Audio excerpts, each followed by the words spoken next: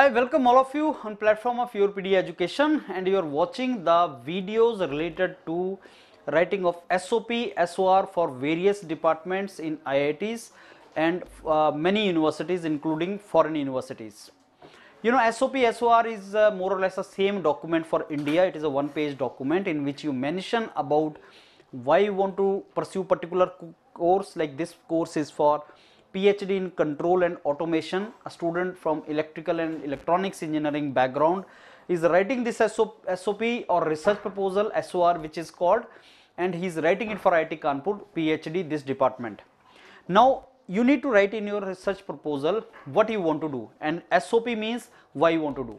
So if you are BTech graduate why you want to do PhD, why you want to do direct PhD, why PhD in controls and automation department only, what you want to do after that and if you join this controls and automation which uh, research area would you like to pursue. So your typical SOP should carry that it is one page document very meticulously it is to be written because this document goes to the professor in the interview and on the basis of that interview goes. So your entire interview depends upon this document so prepare it well. You can always seek the help of mentors of YourPedia in writing the good research proposal guiding you for that and preparing you through interview for these research proposals. Now, so first uh, uh, you know paragraph starts that uh, why at the first place you thought of becoming electrical and electronic engineering. I took electrical and electronic engineering for these reasons. So why you decided to go into this branch that is the first part. So you learned new things into that. So पहला paragraph आपके बारे में रहेगा it will be about you why you became electrical and electronic engineer.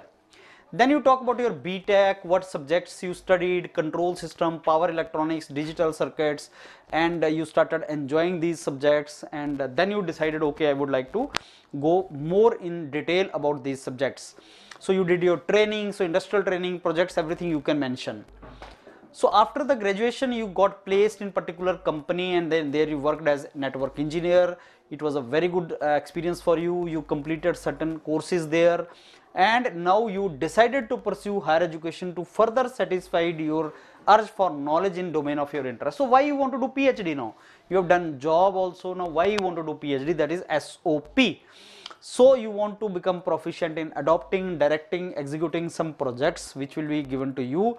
So uh, basically you want to get specialized in particular domain so that in future you can become consultant or you handle the projects in future. So, uh, you want to pursue advanced courses from IIT Kanpur and uh, increase your knowledge and PhD as a course will help you in that. IIT as an institute is institute of excellence. So, why PhD, why IIT? This paragraph is all about that. You can stop the video and see how it is to be written. So, now you come to your research interest, control and automation and IIT Kanpur, why IIT Kanpur? So, data engineering and automation lab. So, intelligent data engineering and automation lab, IDEA lab and network control system lab. These two labs are something which are attracting you. So, you are writing SOP for PhD in IIT Kanpur, you are mentioning about the labs and why you want to join to IIT Kanpur, why not IIT Delhi. So, you are mentioning about the labs that these labs are very good and they are providing the very good facilities and on control system fronts research interest of the group includes this. So you are talking about that what work is going on in that department. So this all you have taken from the IIT Kanpur side that this work is already going on there. Now educational and learning you belong believe is a lifelong process. So even if you have done job you realize that now you should go for higher education because uh, learning should keep on going throughout your career throughout your life. That is from where you got this idea. And that is the reason you want to get into IIT Kanpur and this will be a great opportunity if you do PhD from IIT Kanpur.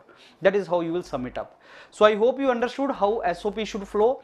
First about you then your project then why you want to join particular IIT and what you want to do after that. It should flow in that particular direction.